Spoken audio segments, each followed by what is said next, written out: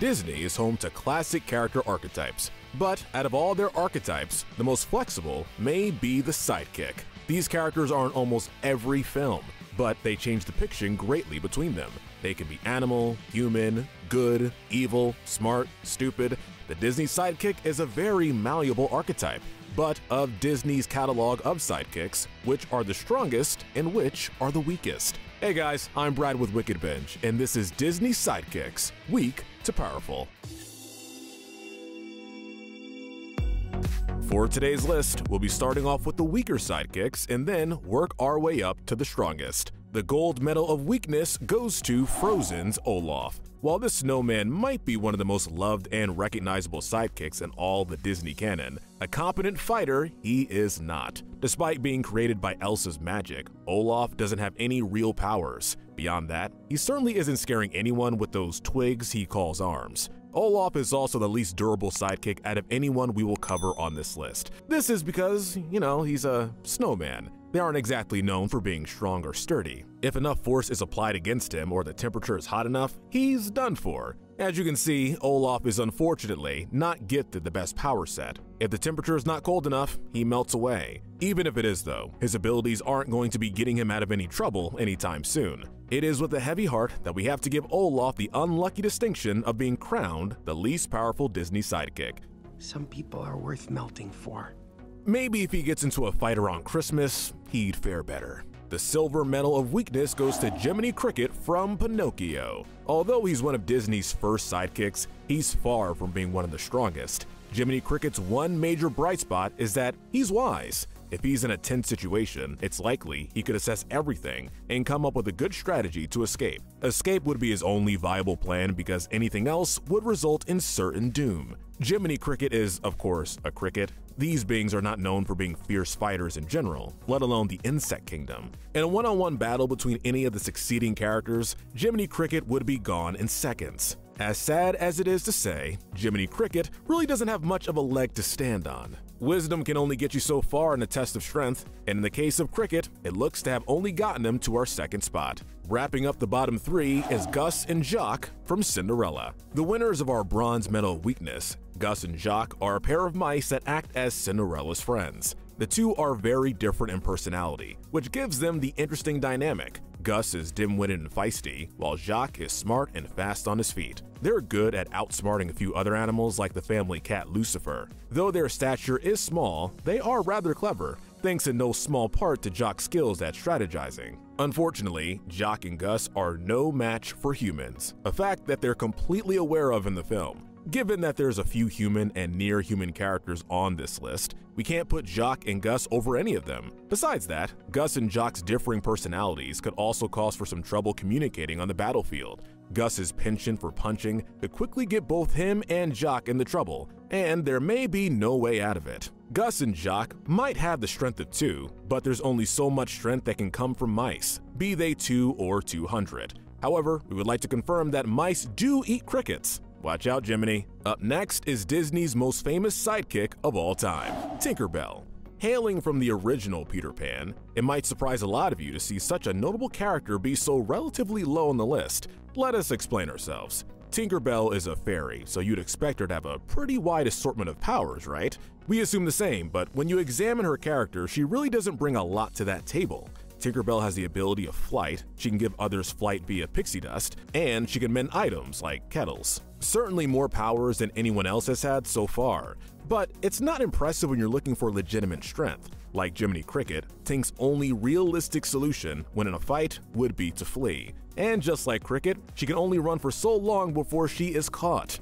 Overall, Tinkerbell has more actual powers than any character on the list yet, but what good is that when you can be taken out by a handy fly swatter? Sorry Tink, but you're gonna need more than pixie dust if you want to join the big leagues. Next is Sebastian the Crab from The Little Mermaid. Sebastian is complicated, surprisingly enough. For the most part, Sebastian is a kind-hearted crab who loves the sea. He's loyal to those he cares about and will do anything in his power to keep them safe. Though he isn't much of a fighter in the film, real-life crabs actually do pack quite a punch. Those claws of his, they actually pinch harder than the bites of most animals. Bet you never thought that Sebastian had such strength. This gives him more actual strength than any of the previous sidekicks, but we can't justify putting Sebastian any higher. He's not exactly a guy fit for combat. He's the type of person who would rather resolve issues diplomatically and leave fighting for actual fighters. With that type of mindset, we can't see Sebastian making it far in a fight, unless we forget the small fact that he's just a crab. They may have a crazy strong pinch, but they're not a creature that's gonna be chasing you off the beach anytime soon.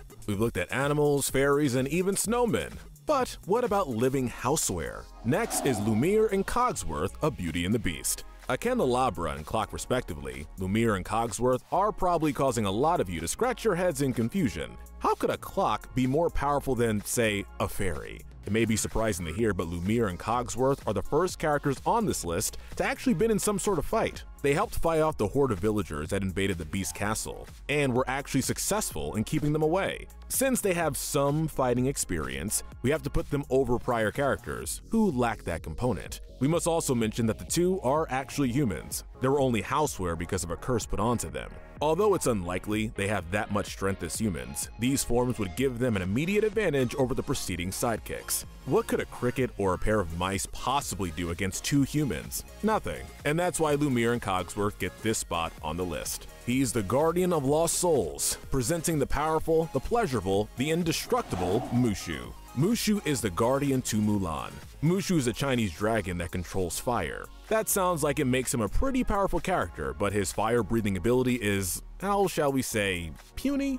Dishonor on you! Dishonor on your cow! It's certainly not very powerful to say the least. And his size, he's not much bigger than a lizard, sadly. On the brighter side of things, Mushu appears to be completely invincible. He can withstand being stepped on, explosions, and all other matter of peril without even a scratch. Mushu also has the advantage of being in battles beforehand, much like Lumiere and Cogsworth. He was in many of the film's action sequences and even played a vital role in defeating the film's villain, Shan Yu. So, if Mushu is more or less immortal, why isn't he higher? In short, he can take a lot, but he can't really dish out much in return.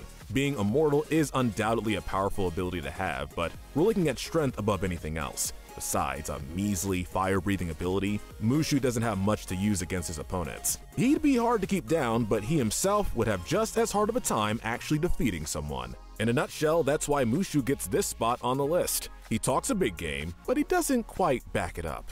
Next is the Seven Dwarves Doc, Grumpy, Happy, Sleepy, Dopey, Sneezy, and Bashful. Right from the get go, they have the benefit of strength in numbers on their side. One of these guys on their own would not be so powerful, but put seven of them together, we think they'd definitely be capable of doing some damage. Aside from that, we can assume they have some pretty good strength, due in no small part to their days working in the diamond mines. Ultimately, however, we feel the seven dwarves have just as many weaknesses as they have positives. That's why they fit here. For one, several of the dwarves aren't really fit for fighting. While Grumpy would have no problem throwing hands, we can't bring ourselves to say the same for someone like Sleepy. We also feel they're just simply outclassed by the remaining entries. We're definitely in the upper echelon of powerful Disney sidekicks, and the Seven Dwarves would have to try pretty hard to compete with some of the characters yet to come. They might have given the evil queen some trouble, but the following characters, not so much. Next are the breakout stars of The Lion King, Timon and Pumbaa. They might not seem like the most capable pair of characters, but when you look at their real-life counterparts, they suddenly become a lot more impressive. Before we do that though, let's look at what they actually accomplished in the film. They were able to give the hyenas a run for their money in the climax. Not only does this give them the advantage of having been in fights before like our previous two entries, but it also shows that they have a lot of courage. If there's any wild animal we wouldn't want to be around, it's definitely the hyenas. But for Timon and Pumbaa, they didn't just encounter them, they fended them off. In the animal kingdom, meerkats may look cute, but they can become agitated rather easily. When that happens, they'll resort to biting or using their claws. While neither of these are all that strong, they aren't pleasant to experience either. It's clear that Pumbaa would do a lot of heavy lifting here. Warthogs can adapt to new challenges skillfully, and they are surprisingly fast. When in a fight, their sharp tusks can leave the opponent seriously injured. The only real weakness a warthog has is a weak eyesight, though that is actually negated by the meerkat having a ridiculously strong pair of eyes. As unlikely as it sounds, Timon and Pumbaa are one of the most powerful duos on this list. They might look cute, but don't let that fool you. Sometimes even the most lovable Disney animal sidekicks can pack a punch. Next is the lovable alligator from The Princess and the Frog, Louis. Louis is a lot like Sebastian when it comes to abilities. He's entirely capable of dishing out pain, but he seldom does it. It's only when his friends are in danger that he really starts to put matters into his own hands. While that could lead to some pain from a crab, that would be far more dangerous coming from an alligator. Alligators have one of the strongest bites out of any animal there is. It's even possible for their bites to break steel. This makes Louis one of the most dangerous animal sidekicks we've covered today. Unfortunately, that's where his problems begin. While he possesses phenomenal strength, believing Louis would take advantage of that is a completely different story. He's very fearful, and as we said earlier, only takes an active role in conflict when his friends are in trouble. If he's in a fight where he isn't worried about his friends, things might not go so well. Louis has a powerful set of jaws, but his cowardly persona holds him back from being one of the top sidekicks. Next are the gargoyles from the Hunchback of Notre Dame. Victor, Hugo, and Laverne. Those are their names, and protecting Quasimodo is their game. Being made of stone, they are given a big advantage over other contestants on this list. Their stone bodies are very durable, letting them take punches a lot better than a human would. This also means any punches they throw would be extremely painful for the receiver. Also, unlike some of the more cowardly contestants we've looked at, the gargoyles would have no issue fighting others. As the film's climax showed, the gargoyles played an instrumental role in the final battle throwing bricks and firestone at Frollo's many troops. That's something you wouldn't see from Sebastian. The only reason we don't rank them higher is because, simply put, the rest of the list has more going on. The other characters we'll cover have many more skills and powers, making these gargoyles look rather lacking in comparison. But that doesn't mean Victor, Hugo, and Laverne aren't competent sidekicks. If you ever find yourself in Notre Dame, this trio will have your back. Next are Pain and Panic from Hercules. To describe them, they are basically a souped up version of Mushu. They're small and immortal, like him, but they also have the added power of shapeshifting. It seems like there are no limits to what they can transform into. While the two cannot stay in these forms forever, they can turn into seemingly anything their minds conjure up. So, if they can turn into anything and they appear to be immortal, why aren't they higher on the list? Well, that's because Pain and Panic are anything but competent. They repeatedly fail to complete the mini task Hades gives them. And can you really be powerful if you fail to take out a baby? Given that they're some of the dumber characters on our list, this cost them a higher spot in our rankings. We can only imagine Hades will not be happy to hear that. Another evil sidekick is Kronk from The Emperor's New Groove.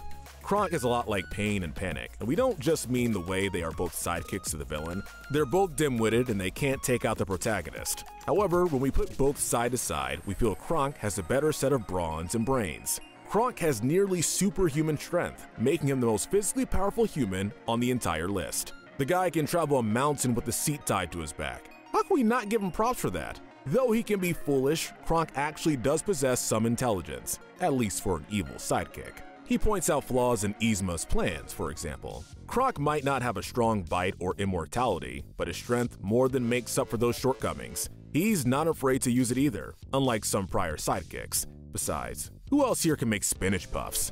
For all those reasons, we have to place Kronk in fourth place. The Bronze Medal of Power goes to Robin Hood's Little John. Little John is a bear who acts as Robin Hood's friend, and has more than a passing resemblance to Baloo, Little John is certainly a friendly fellow, but that doesn't stop him from being one of the most strongest sidekicks there is. First off, he's a bear. They're pretty well known for being very dangerous creatures. On average, one bear has the strength of five humans, so he's definitely a force to be reckoned with. Bears are already intimidating, but how about a bear that does archery? Yeah, Little John has an impressive arsenal at his disposal, giving him an advantage over most characters. He's skilled at archery, he's used a dagger, and even a staff. Little John has also handled himself well in fights, even taking on Prince John's rhino guards and emerging the victor. With good strength, brains, and prior fighting experience, Little John is proof that the only thing scarier than a bear is a bear in medieval clothing. The Silver Medal of Power goes to Baymax from Big Hero 6. You have been a good boy. Have a lollipop. Come on, in what world would Baymax not be in the top 5? Being a robotic superhero, Baymax has a most impressive range of abilities and tools for him to use. First, he can lift well over a thousand pounds at any given time. Baymax is also very intelligent. He can assess situations quickly, giving him one of the better minds out of all the characters we've analyzed today. However, Baymax's true power lies in his red battle armor. With this, his arsenal grows to become even more powerful. The armor, of course, gives him much more protection than when he's outside of it. The suit also lets him fly, which he can use to move quickly across the battlegrounds. Additionally, it can allow him to track beings, which is a huge advantage when in a fight with somebody. Trying to hide? That's not going to be super helpful when Baymax is around. Lastly, the suit has a set of Rocket fists, which are very powerful when used against opponents. Baymax is easily one of the most powerful sidekicks to come out of the entire Disney canon. He's got everything from strength to smarts to weapons. There's only one who could possibly be a match for him. The gold medal of power goes to the often imitated but never duplicated Genie from Aladdin. It seems like a no-brainer that Genie would be the most powerful Disney sidekick of them all. Genie has his weaknesses, but there are pretty few.